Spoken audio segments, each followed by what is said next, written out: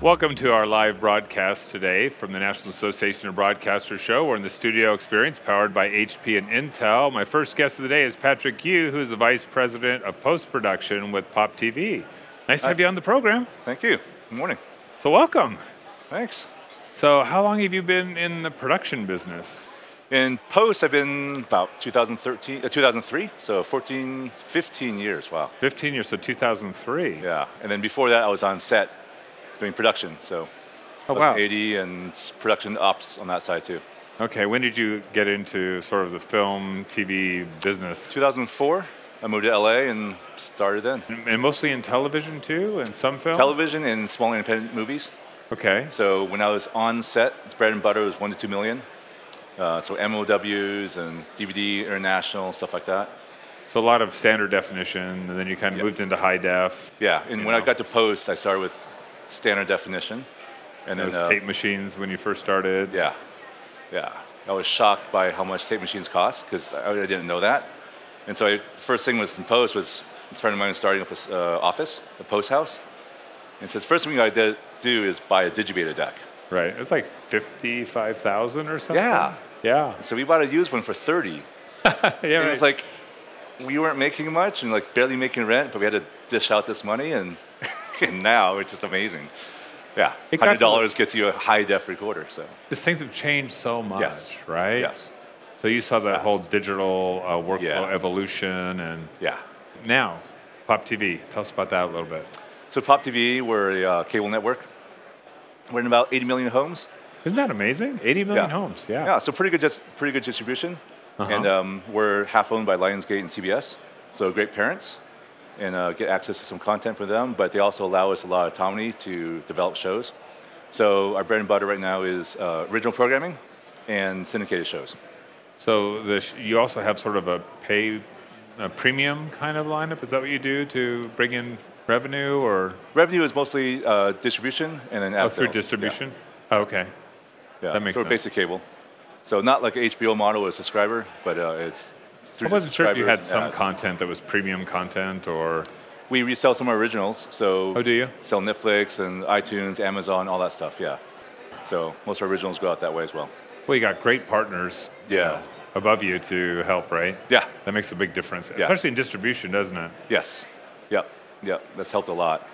Let's get into the fun stuff, the technical stuff, no. since you're more into the post-production yeah. end of it.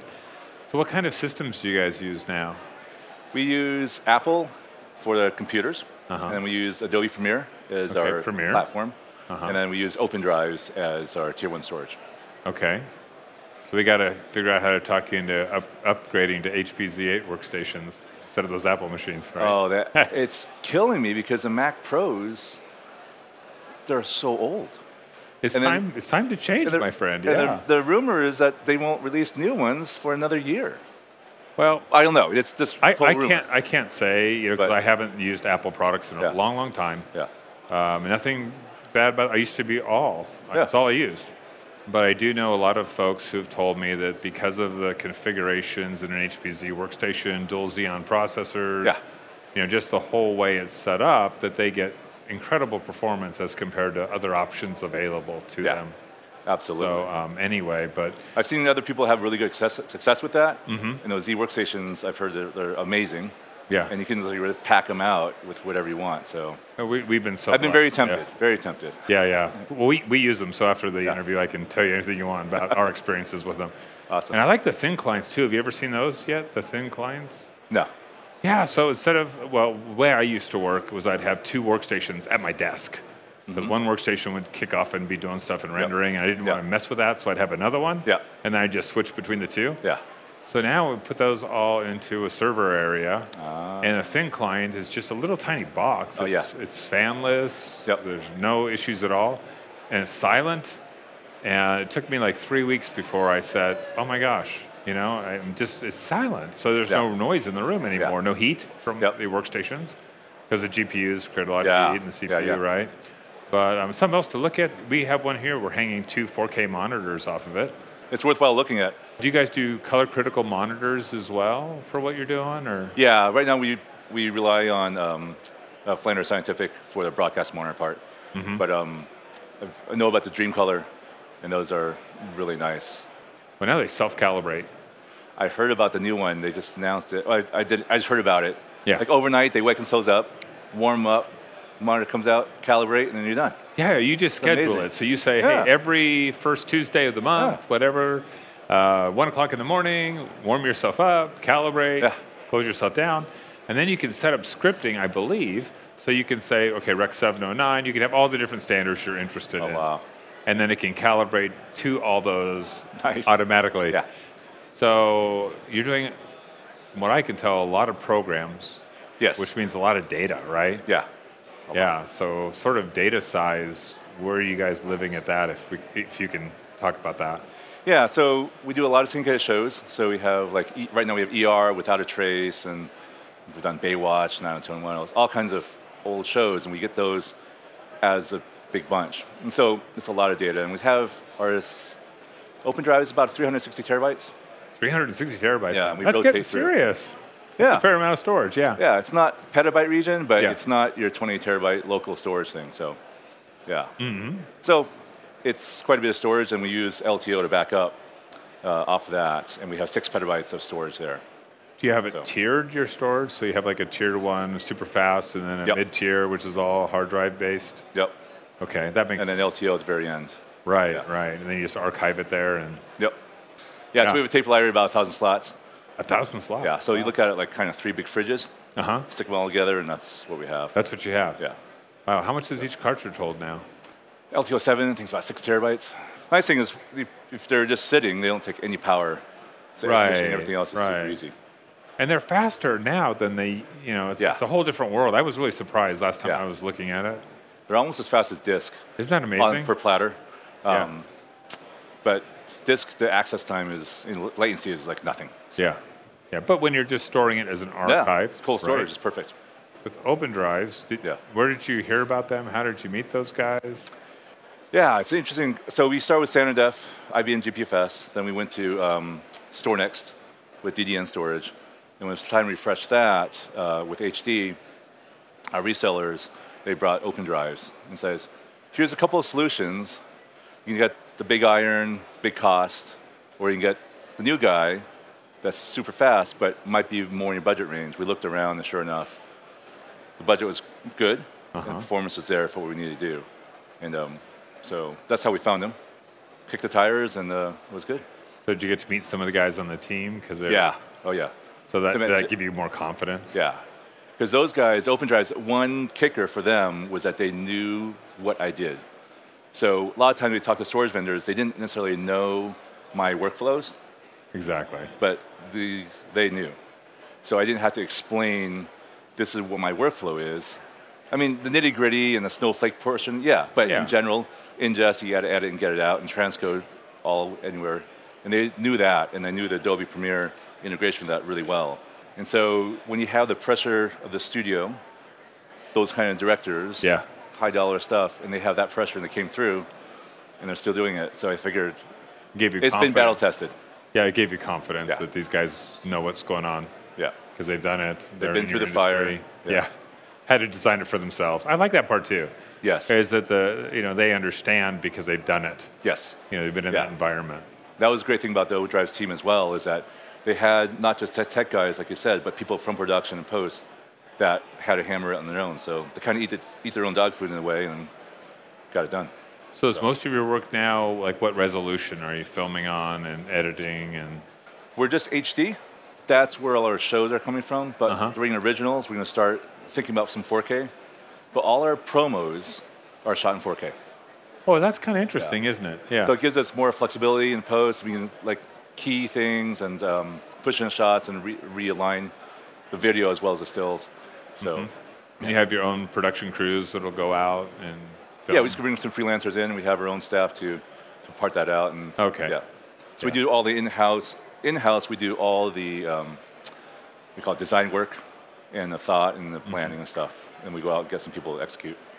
So when you're setting up your facility, you've got like a shared storage pool then? Yep. And do you keep all the workstations at the editorial bays that you might have? Yep. So we have 12 edit bays 12, okay. hanging off there, and we have four digitizing stations and a couple other digitizing systems. And then um, off Vantage, we have a five node Lightspeed render farm. And then we have probably about a dozen graphics guys. Mm-hmm. And, and they're all hitting this one system. So do you, do you use 10 gig E as your main fabric? Yeah, 10 gig E on all the guys that need it. So our edit bays and our motion graphics. You know, all the admin and producers and other types are hanging off one gig. And then what about um, the system itself with your storage? Is it like a 40 gig E switch that? Yeah, it's 40 gig in. from the storage up to the switch, Mm-hmm. Mellanox switch, and then um, fan out from there.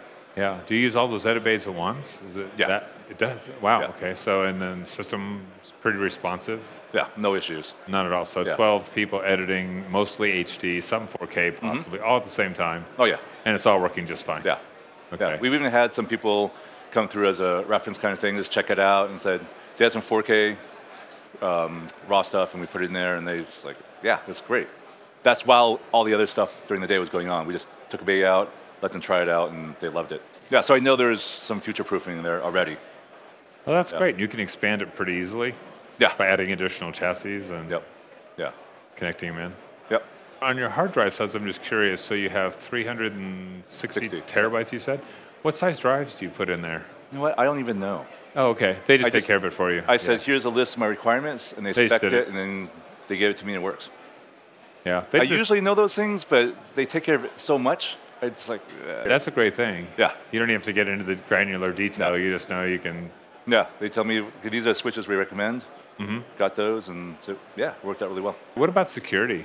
You've got all these workstations connected to a central storage repository. Yep. Are you concerned about somebody putting in a flash drive or?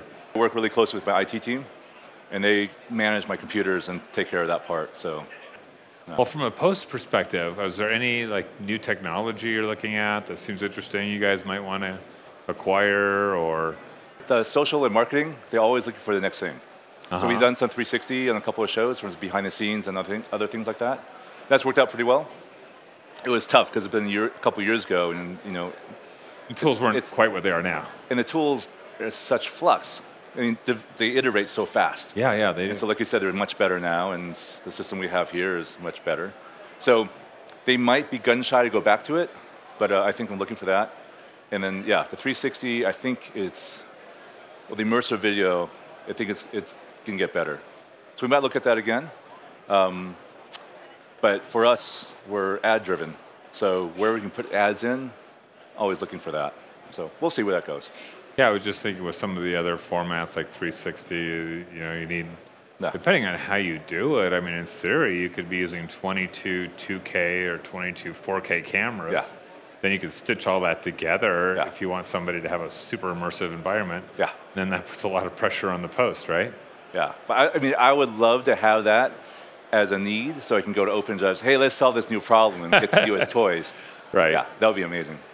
And they, but they've seen a lot of stuff, so I, I have confidence that they'll be my first call. And Do you guys do out. a lot of compositing too? A little bit, not too much. Our motion graphic guys do that, and they do all that in 4K and After Effects. So, so After Effects and Yeah. Premiere, your two big things. Yeah. And they have those connected pretty well now, at Adobe, so you can do some Yeah. pretty neat things. And, Yep, some good round tripping. We also do some Cinema, 4, uh, Cinema 4D, Uh-huh. but um, that's about it. Not huge, heavy model work or anything like that. Th- Any thoughts about doing things in the cloud at all, or do you just prefer to have everything right there? I've thought about the cloud, but as I price things out, it's not quite there for me yet. Yeah. Um, I am looking at some technology to edit in the cloud and have some, um, instead of full res, have a proxy in the cloud that'd be good enough to broadcast in case of emergency. So living in California and the office being in California, you got to be conscious of that. What happens if my office goes away? I still need to deliver some shows. So I'm looking at different technologies for that. Why would your office go away in California?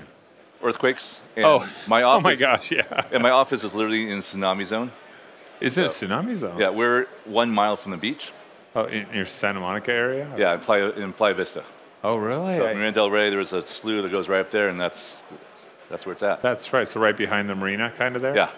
Ah, yeah. I used to row there when I was a kid at UCLA. Oh, really? Do they still Yeah. do that? You see the Some, I don't see it too much. Yeah. but I'm in my cubicle all the time. So Oh, yeah, yeah, in my yeah, yeah. office. So Yeah, that was a beautiful place to be, though. I mean, Yeah. for living, it's gorgeous place. Of it's great to be there. To get there is sometimes difficult. It's LA. You got It's traffic. worse than it was Yeah. probably when I was there. Yeah, yeah. Well, gosh, it's so good having you on the program. All right. You know, we, we wish you the best, and you know, Thank you. continue on your success, and hopefully we'll catch up. Maybe we can go come out to your facility someday. And Yeah, come on out. Yeah, Love to show you around. thanks. Appreciate it. Good talking.